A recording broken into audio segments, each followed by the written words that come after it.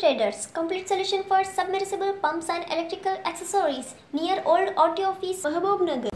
असलम नाजरीन मैं हूँ मोहम्मद अब्दुल मुखीत आप देख रहे हैं मेंढी न्यूज़ रियासती हुकूमत की जानिब से छठवीं सातवीं और आठवीं जमात के आगाज़ के सिलसिले में जारी करदा हिदायत पर मसरत का इजहार करते हुए प्रिंसिपल अनूर हाई स्कूल मोहतरमा नाजिया सुल्ताना ने रियासती वज़ीर बरए तालीम सबीतरा इंदिरा रेड्डी व तेलंगाना चीफ मिनिस्टर के चंद्रशेखर राव से इजहार तशक्र किया।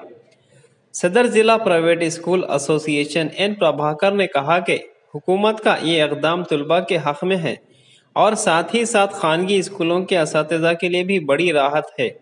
इन्होंने मजीद कहा कि तमाम स्कूल कोविड जवाबते के मुलाजा रखते हुए मस्करा जमातों में तालीम का आगाज़ करें। इस मौके पर मुंतजमीन स्कूल ख्वाजा पाशा करस्पांडेंट अब्दुल अहद सिद्दीकी व दीगर मौजूद थे జిల్లా ప్రైవేట్ స్కూల్ అసోసియేషన్ జిల్లా అధ్యక్షుడిని ఎన్ ప్రభాకర్ నా పేరు ఈరోజు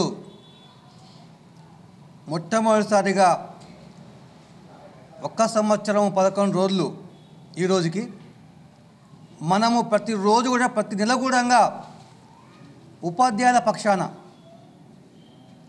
కరస్పాండెంట్ పక్షాన ఉండి ఈరోజు అనేక సార్లు ఎమ్మెల్యేలకు మంత్రులకు డిఓలకు అట్లానే కేటీఆర్ గారికి సబితా ఇంద్రెడ్డి గారికి ఇట్లా రకరకాలుగా అందరూ కూడా పాఠశాల తెరవాలని మేము మెమరాండం ఇవ్వడం జరిగింది. దీనికి మాకు ఎక్కువగా పత్రికా విలేకరులు కానీ మీడియా మిత్రులు కానీ వీళ్ళందరూ కూడా మాకు సహకరించారు ఈరోజు. ఈరోజు రెండు గంటలకే మన మనకు మధ్యాహ్నము రాష్ట్ర ముఖ్యమంత్రి కేసీఆర్ గారు అట్లానే విద్యాశాఖ మంత్రి శ్రీమతి సబితా ఇంద్రెడ్డి గారు ఒక జియో పాస్ చేసిండ్రు. ఇంతకుముందు ఎనిమిది తొమ్మిది పది మాత్రమే ఓపెన్ చేసిండ్రు మొన్న ఫిబ్రవరిలో. ఇప్పుడు ఈరోజు ఆరు ఏడు ఎనిమిది కూడా ఓపెన్ కావడం అనేది ఒక మంచి విజయానికి నాంది అని చెప్పడం జరిగింది.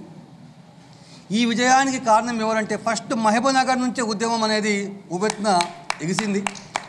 మొత్తం ముప్పై మూడు జిల్లాల్లో ఎక్కడ కూడా జరగని విధంగా ప్రతిసారి కూడా మనము ఈ యొక్క స్కూల్ ఓపెన్ కావాలని చెప్పడం జరిగింది.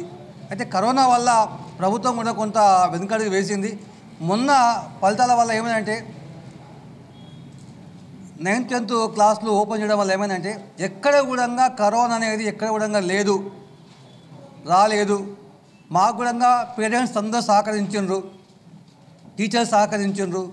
కనుక ఈరోజు మేము మళ్ళీ రేపటి నుంచి ఆరు ఏడు ఎనిమిది తొమ్మిది పది కూడా అన్ని స్కూల్లో కూడా ఓపెన్ చేయడానికి మాకు అవకాశం ఇచ్చినందుకు కేసీఆర్ గారికి సబితారెడ్డి గారికి అట్లనే మా మంత్రివర్యులు మా గౌరవ ట్రస్మా గౌరవ అధ్యక్షులు అన్న డాక్టర్ శ్రీనివాస్ గౌడ్ గారు కూడా వారికి కూడా ధన్యవాదాలు తెలియజేస్తున్నాం.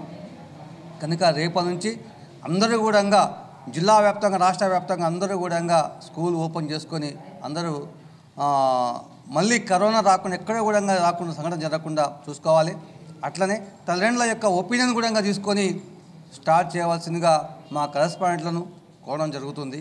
కనుక మీరందరూ కూడా ఈరోజు ఇంత గొప్పగా విజయానికి కారకులైన మా యొక్క పట్టణ ప్రధాన అధ్యక్షురాలు అట్లనే మా యొక్క అల్నూరు స్కూలు మేనేజ్మెంట్ కాజాపాష అట్లనే మా జాయింట్ సెక్రటరీ బేగం మన అక్తర్ మేడం అట్లనే మా యొక్క వర్కింగ్ ప్రెసిడెంట్ రామచంద్ర సార్ అందరూ కూడా ప్రత్యేకత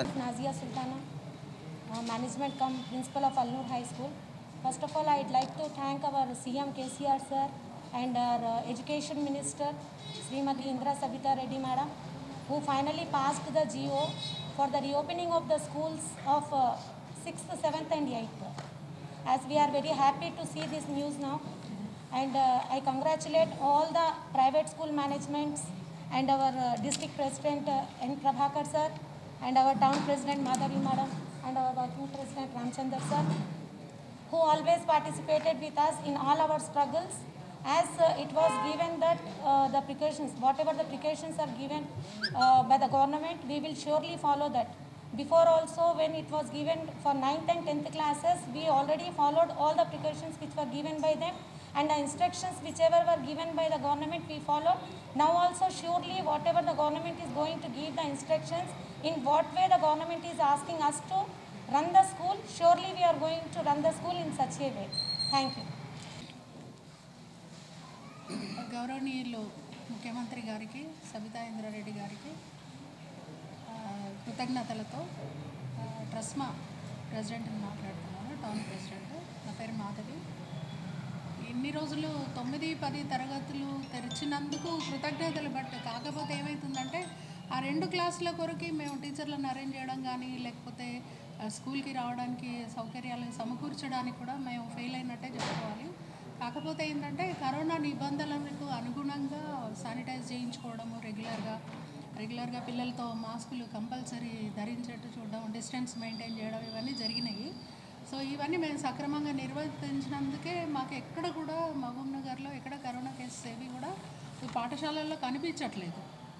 అలాగే ఇప్పుడు కూడా ఆరు ఏడు ఎనిమిది తరగతులు తెరుస్తున్నారు అని వినగానే కొంచెం ఆనందం వేసింది మాకు కూడా. ఎందుకంటే ఎలాగో అలాగా కొద్దిలో కొద్దిగా మాకు సపోర్టివ్గా గవర్నమెంట్ ఉంది అని మాకు ఒక ఆశాభావం అనేది పెరిగిపోయింది మా లోపల కూడా.